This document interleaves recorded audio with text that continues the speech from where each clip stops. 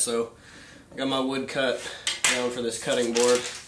Um, you can see the kind of pattern I'm doing. So I got 5 inch piece of walnut right here, 3 quarter inch piece of maple, which is this guy, um, 3 quarter inch piece of black walnut, which is that guy, inch and a half piece of cherry, uh, and then two half inch pieces of uh, maple, one inch piece of walnut, and two inch piece of cherry. So, uh, got all the wood cut, and um, so now I will um, start to glue all this together, um, and then after it's glued together, I will make my cuts at an inch and a half through the blank and then flip everything 90 degrees then glue it back together um, alternating every other piece will be flipped back over. Um, and then it's pretty much done and then flatten it out with a router sand it finish it and done. So here we go. Okay so here's the the pattern laid out. Walnut maple walnut cherry maple, walnut, maple, cherry. um, so I'm going to glue this together exactly exactly like I have it here. And then once that's glued up, then I'm going to cut half inch strips all the way through this um, and then flip those 90 degrees and then glue all that together. Um, then that'll be my end grain cutting board. Um, and I keep forgetting to say this. So after I cut the one and a half inch strips. Every other one I'm going to flip. So the walnut will be down here, so it'll be reversed um, to give it kind of a, a, different pattern than just this pattern. Although this looks pretty cool. But um, so that's what it's going to look like. Time to glue it up. So just a little uh, glue up tip whenever you're making one of these cutting boards. Go ahead and have all your clamps set out and your pieces kind of dry fit in there and then go ahead and glue. That way you don't have to screw around with trying to rush and get all your clamps in place and all that stuff. So just go ahead and lay it out on there and then glue where you need to glue. And then you can just cinch it all down and tighten it together. So just makes it a little bit less uh, frantic whenever glue up time comes.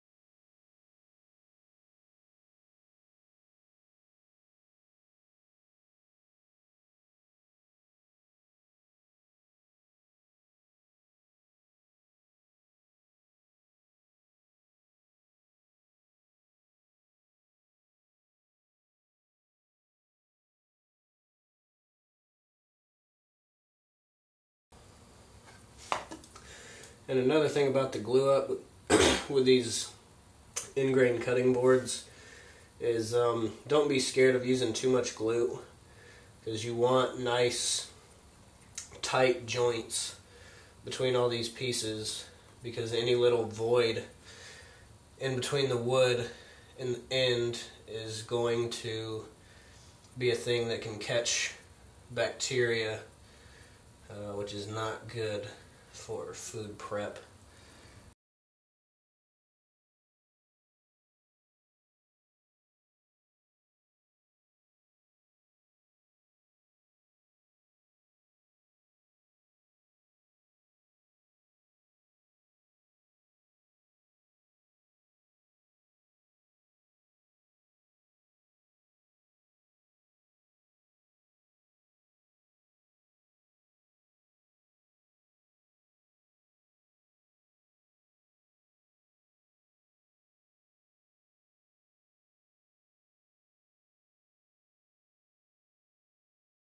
There we go.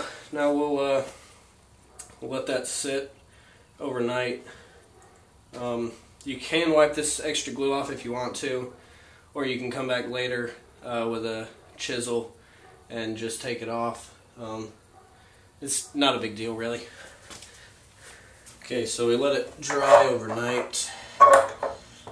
Now we are going to unclamp and see how we do.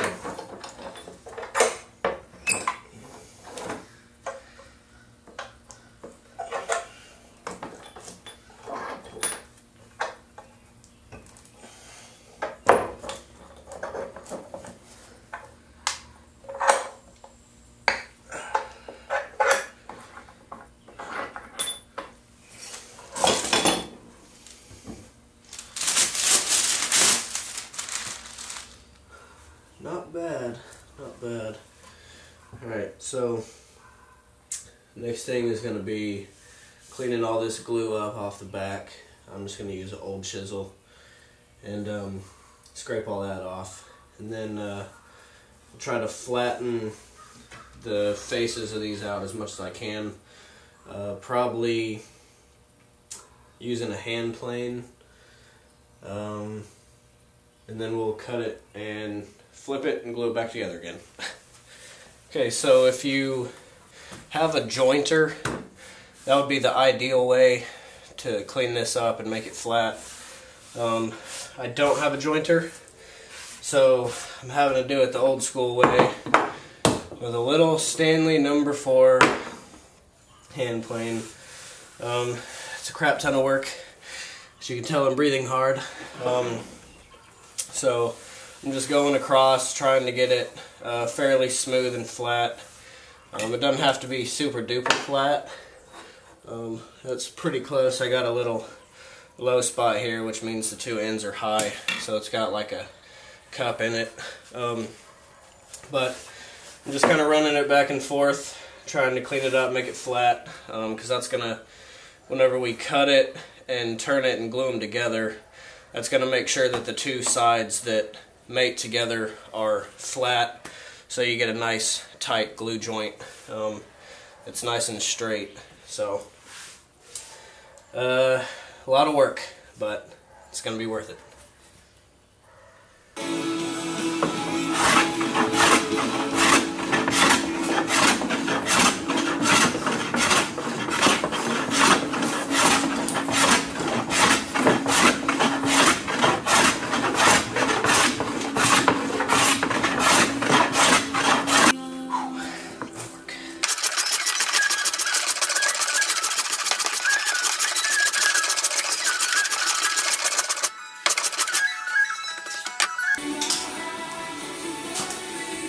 Gonna trim these uh, these uneven ends off. Just a little thin cut, just to have a nice straight edge.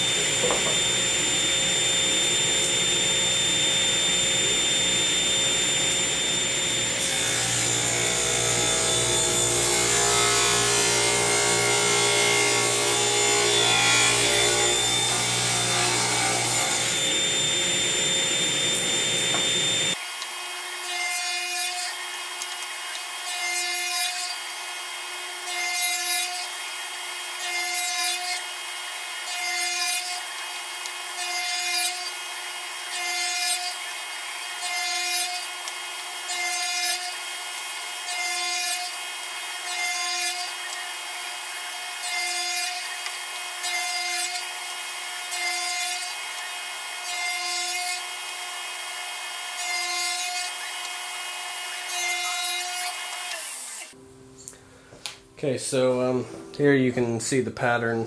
Um, so like I said, just flip every other one the other direction. And I kind of tried to lay it out so that it would have this kind of swooping pattern every other one or a, a diving pattern whichever way you want to look at it but um, and I did offset these on purpose so they don't line up straight through the middle I think it just gives it a better look um, that's not a mistake even though it may may look like it but it kind of gives it another little movement through the middle instead of just having everything in lines uh, it'd look kind of boring if everything was straight and in line. So, um, so that's what it's going to look like. Now I'm just going to glue all these pieces together um, and let those dry overnight. Um, and then I'll use my router sled and uh, flatten the top of this off and then flatten the bottom and we'll sand it and finish it and done! So, let's go. Okay, so we're just to glue this up the same way that we glued up all the individual pieces. Just got my clamps down, wax paper behind, um, and I'm just to put glue in between each one of these joints and then um, check for square also. Make sure that all these pieces are lined up and not kind of skewed out or that's to, you know, make the vertical lines not be perpendicular to the side and it's just to look kind of weird. So um, just glue it, check for square, crank it down, and then let the glue dry.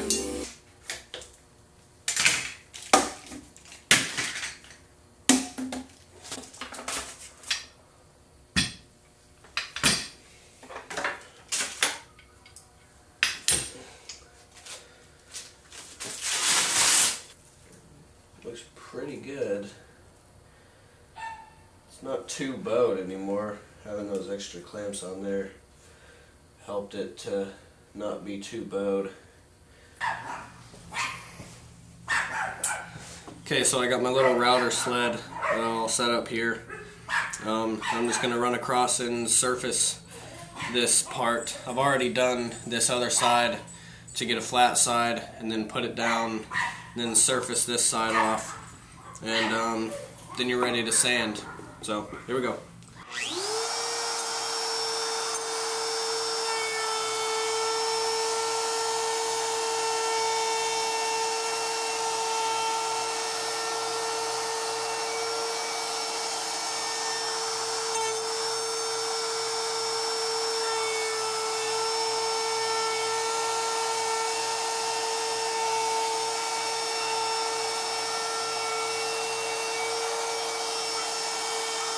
Okay, so I've got a couple little um, cracks and little holes and stuff in here, so I just mixed up some uh, five minute epoxy and I've got this little syringe and I'm just going to go in here and fill these little uh, cracks and holes with this syringe.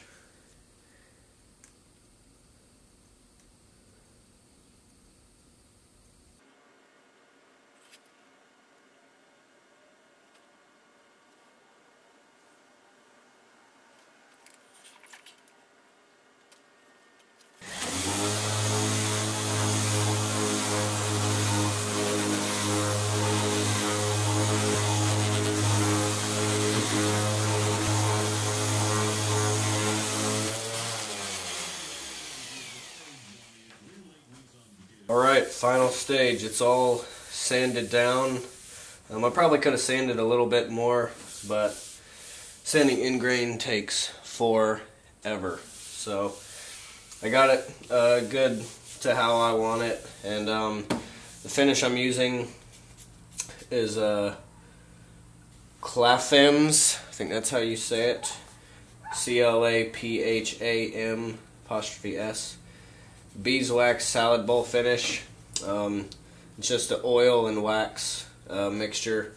Um, food safe. You want to make sure you use something that's food safe um, if you're doing a cutting board because obviously you're going to be preparing food on it. So you just wipe it on there.